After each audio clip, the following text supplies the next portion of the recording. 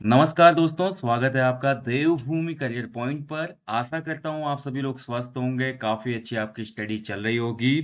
तो देखिए उत्तराखंड लोक सेवा आयोग के द्वारा 2-3 नोटिफ़िकेशन आज जारी किए गए हैं 19 जुलाई को। तो सबसे पहले जो नोटिफ़िकेशन है, विज्ञप्ति है, यह आपकी आईटीआई में एक पोस्ट आई थी फोरमैन अनुदेशक की, उसके एग्ज़ाम को लेकर है। आईटीआई फोरमैन अनुदेशक का जो पेपर है वो सात अगस्त को होगा।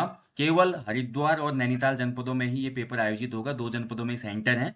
और इसके लिए जो एडमिट कार्ड है अभ्यर्थी अपना 24 जुलाई से डाउनलोड कर सकते हैं तो जिनका भी एग्ज़ाम है अपना एडमिट कार्ड आप लोग देख लीजिएगा दूसरा जो नोटिफिकेशन आया भैया ये नोटिफिकेशन है आपका 27 जून को आपका एक पेपर हुआ था आप सभी को पता ही है सेवा योजना विभाग के अंतर्गत जो आईटीआई थे आईटीआई में प्रधानाचार्य ग्रेड टू का पेपर हुआ था जिसमें आपका जीएस का भी क्वेश्चन पूछे गए थे, उसमें रीजनिंग भी आई थिंक पूछी गई थी, हिंदी भी थी, ठीक है, और सभी मिक्स क्वेश्चन पेपर था।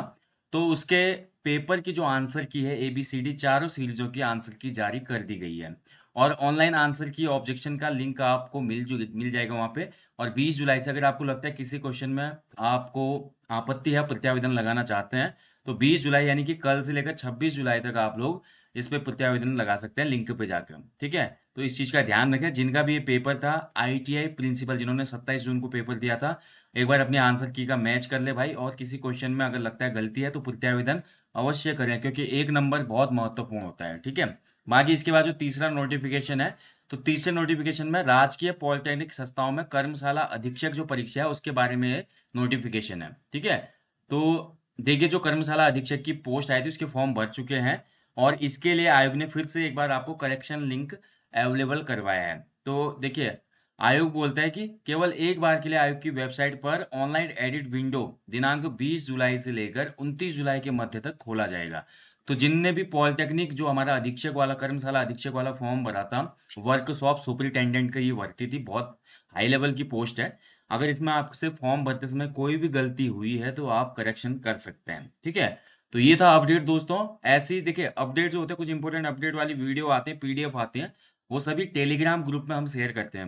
हमारा जो टेलीग्राम ग्रुप है, देवभूमि करियर पॉइंट के नाम से ही है, आप उसको ज़रूर ज्वाइन कीजिएगा, क्योंकि उसमें महत्वपूर्ण सूचनाएँ और जो भी हमारे गाइडेंस होता है और उसके अलावा कुछ अन्य इंपॉर्टेंट टेस्ट के रिगार्डिंग हो यूट्यूब चैनल के रिगार्डिंग हो और आपके एग्ज़ाम के रिगार्डिंग हो करियर के बेस पे हो, किसी भी महत्वपूर्ण टॉपिक पे वहाँ पे अलग अलग टाइम पे आपको सूचनाएँ साझा की जाती हैं। तो इसलिए टेलीग्राम जो हमारा ग्रुप है, उसको ज्वाइन कीजिएगा आप लोग, ठीक है? बाकी ये था आज के लिए कुछ महत्वपूर्ण इन्फॉर्मेशन यूके पीएससी की।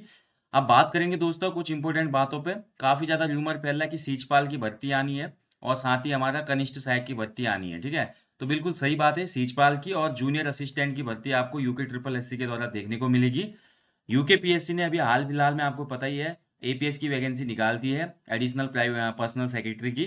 और इसके अलावा देखिए, आप जल्दी आपको नई वैकेंसी कुछ और भी देखने को मिलेंगे, जैसे लेक्चरर की वैकेंसी है। हालाँकि लोअर पीसीएस में अभी अध्याचन में कुछ प्रॉब्लम्स हैं तो थोड़ा डिले होगा इसको आने में। और इसके अलावा जो आपका FRO का फॉर्म है, शायद FRO का फॉर्म आपको जल्दी देखने को मिलेगा विद इसमें इस बार वन विकास निगम की एक पोस्ट और है लॉगिंग ऑफिसर वाली, ठीक है? तो logging officer plus forest range officer forest ranger officer की आपको विज्ञप्ति जल्दी देखने को मिलेगी। तो अपनी मेहनत को कंटिन्यू रखें दोस्तों। मिलेंगे जल्दी नेक्स्ट वीडियो में। जाने से पहले हमेशा की तरह अपने जीवन में कम से कम एक पेड़ लगाएँ और लोगों को भी इसके लिए अवेयर करें और अपने घर के आसपास और जहाँ भी घूमने जाते हैं, स्वच्छता का विशेष ध्यान रखें। मैं आपको जल्दी मिलूँगा दोस्तों। जय हिंद, जय देवभूमि।